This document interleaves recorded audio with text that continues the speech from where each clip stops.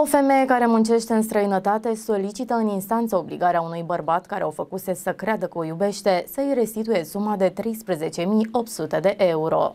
În argumentația cerării sale, femeia susține că pe parcursul la circa patru ani i-a trimis bărbatului numeroase sume de bani, după ce i-a spus constant că o iubește, o asigura continuu de iubirea sa și de autenticitatea sentimentelor sale și se arăta preocupat de starea sa de sănătate. Nu am avut intenția de a-l gratifica pe părât cu sumele mai sus menționate. Din discuțiile portate prin intermediul rețelelor de socializare, rezultă că îmi cerea constant diverse sume de bani, fie cu titlu de împrumut, fie pentru a cumpăra obiecte pentru casă, fie pur și simplu pentru că avea nevoie. Îmi spunea ce face cu banii trimiși, respectiv renovări la casa dânsului, geamuri, uși, parchet, zugrăvit, trimițând și poze în acest sens, pentru a-mi dovedi ce a făcut cu banii. I-am trimis banii în ideea unui viitor comun, afirmă femeia în acțiunea civilă depusă la judecătoria Câmpeni. Bărbatul a respins toate acuzațiile și susține că nu a avut nicio relație de iubire sau de concubinaj cu aceasta. A negat investițiile făcute cu banii dați de femeie, precum și faptul că i-ar fi spus spus ce al meu e și al tău. Atitudinea nesinceră a părâtului este contrazisă flagrant de discuțiile purtate pe Messenger. Părâtul îi spune constant că o iubește, se arată preocupat de starea sa de sănătate, o asigură continuu de iubirea sa și de autenticitatea sentimentelor sale, pentru că în acest fel să obțină bani de la reclamată. Sub imperiul promisiunilor părâtului și al sentimentelor declarate, intimata a înțeles să trimită sumele de bani în speranța alimentată de părât că vor avea un viitor împreună. Reclamanta a mai spus că nu i-ar fi trimis peste